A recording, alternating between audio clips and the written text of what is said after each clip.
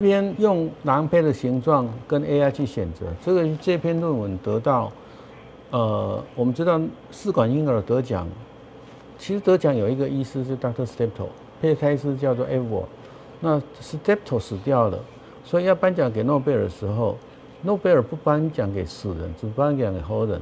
可是那个时候 Evo 他已经老年痴呆症，他根本不晓得他得到诺贝尔奖，所以诺 Evo 他是胚胎师，就好像我们。医院的林林主任就是他得到诺贝尔 prize，可是他不知道他他也死了哈。那这一篇论文是得到 Award 奖奖奖的研究哈，他在比较第五天囊胚，你是用 AI 去选择。那这个总共涵盖了六个国家、十八家试管婴儿中心，总共有将近一万张照片，总共有十年的研究，总共有四千七百个试管婴儿病人，算是很大的。他要去看这个胚胎有做 PGT-A 的，这里正常，跟高分低分有没有关联性？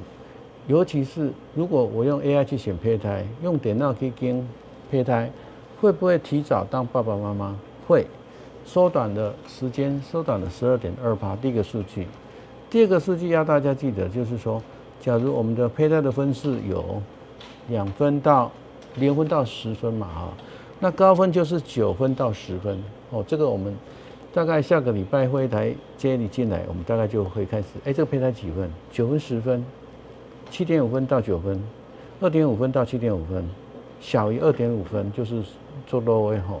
所以九分到十分，它的染成功怀孕的几率是六十四点六，一颗一颗哈。那如果零到二点五分呢？二十九，算三十好了。所以分数由高到低，它的怀孕率是六十四降到五十九，降到五十四，降到二十九哦。所以分数越高，也意味着它染色体正常。请注意哦，这个是没有做染色体的哦。那分数相对于染色体也有正相关。所以总之，呃，这一篇他提出来的一个结论就是说，点到镜头到，点到跟胚胎。人工智能用来胚胎的选择，在没有 PGT 的前提下，它有办法去看这个胚胎是不是可以着床。不过，反正我们最近有一个案例是两个胚胎都已经孵化出来了，结果胚胎 PGT 竟然是染色体异常。那昨天有一个病人有八颗都孵化出来了，四颗去切全部都正常。那我就在跟主任讨论说：“哎呀，那个两个都不正常的，那个如果用 AI 来判，一定是这个是呃九到十分这个这个这个 class 嘛。